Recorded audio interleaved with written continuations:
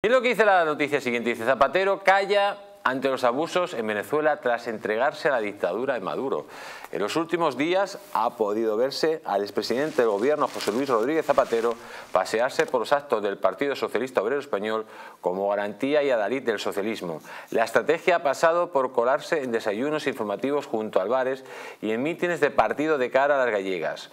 Mucha presencia para el ex-líder que tratan de convertir en referente moral del socialismo, que sin embargo calla ante la deriva que está tomando su partido con los pactos con los independentistas para aprobar la ley de amnistía, pero también ante los abusos que se están produciendo en Venezuela por parte del gobierno liderado por Nicolás Maduro. Zapatero, quien conoce bien las singularidades del país venezolano, pues suele visitar y ser recibido con frecuencia por Maduro, no ha dado razones sobre las inhabilitaciones que el Supremo ha ratificado para varios opositores en el pleno año electoral. El gobernador Pablo Pérez, los exalcaldes Daniel Ceballos y Rosa Escarano, el exdiputado Richard Mardo y el periodista Leoncis García, todos contrarios al régimen. Pero las inhabitaciones más sonadas son las del candidato presidencial Enrique Capriles y la líder opositora María Carolina Machado, quienes como dictamina la sentencia no podrán competir en las elecciones hasta el 2036. Machado había arrasado en unas primarias organizadas por la PUD, con atención el 92,35% de los votos el pasado 22 de octubre, mientras que Capriles, también uno de los políticos antichavistas mejor valorados, según las encuestas, fue castigado por supuestas irregularidades administrativas detectadas durante su periodo como gobernador.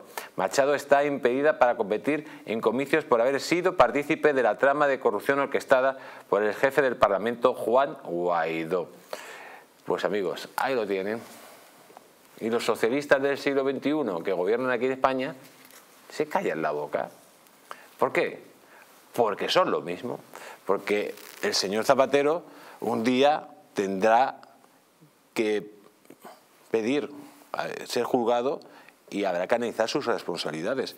No solo en lo que hizo aquí en España, cómo ganó las elecciones el famoso 11M, sino cómo ha ido legitimando un régimen terrorífico como el de Venezuela, cómo ha ido creando unos estados soviéticos americanos y ha ido participando de una y otra forma por medio del cártel de Puebla en esas elecciones para bueno, desestabilizar los países y que ganaran mm, candidatos procomunistas. Y este señor, eh, en su momento, fue investigado por los Estados Unidos.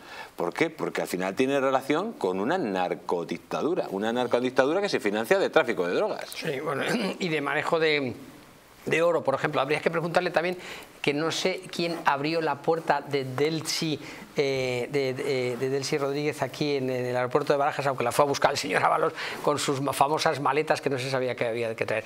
Eh, eh, Zapatero, que él se consideraba el primer eh, presidente de realmente de izquierdas, eh, no Felipe González, ni nada, sino él era el primer presidente de izquierdas que había después de la, de la, del comienzo de la transición, em, eh, se mueve como, como, en su salsa con estos personajes, estos personajes que son terribles. Es verdad que ha hecho alguna vez algo, ha, demostrado, digamos, un poco con sus vínculos, hacer en favor de la liberación de, em, del líder de la oposición también que estuvo durante varios años en la cárcel y se lo trajo a España y alguna cosa. Pero realmente lo que tú dices, en algún momento el señor Zapatero tendrá que dar cuenta no solamente de sus vínculos con la dictadura eh, del señor Maduro, sino de sus relaciones con la señora Kirchner, de sus relaciones em, eh, eh, con, Evo Morales. Exactamente, con el, presidente las boliviano. imágenes que le vimos con un narcotraficante, como visitado los campos de coca, esas imágenes han salido.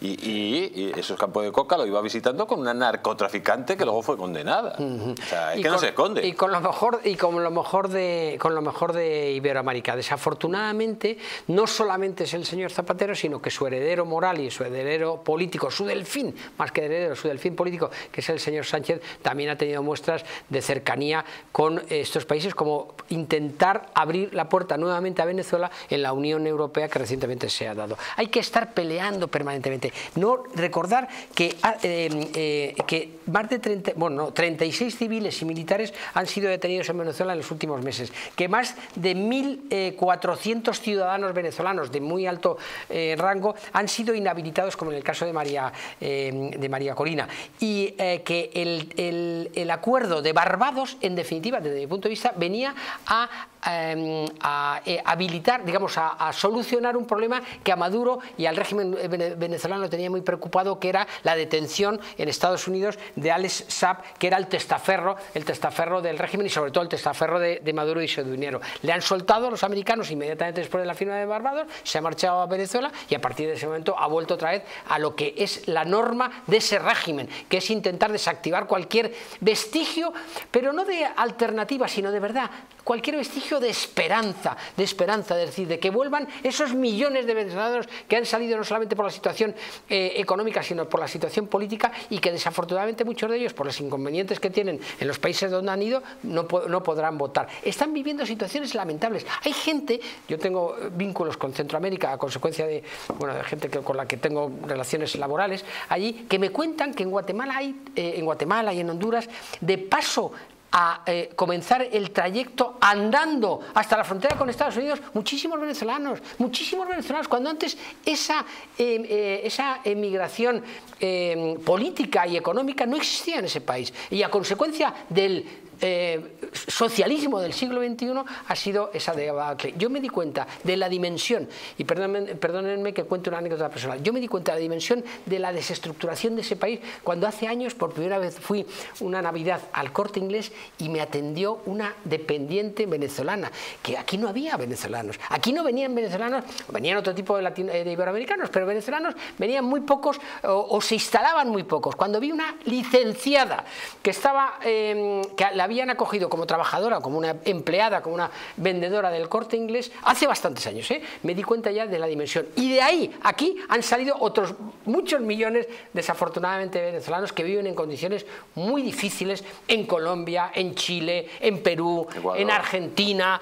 o sea, por favor, estemos batallando permanentemente por derrocar eh, a ese régimen que es un régimen de latrocinio y de destrozo de un país tan... un régimen que ha sido también apoyado por eh, eh, ministros españoles. Eh. Quiero recordar que hasta hace poco teníamos, ahora son más Madrid, pero está, perdón, más, ¿cómo se llama? Más, país. más país. Pero hasta hace poco teníamos en el gobierno al señor, bueno, a gente del señor Iglesias que apoyan directamente a este Bueno, la vicepresidenta del gobierno lloraba cuando murió Chávez directamente.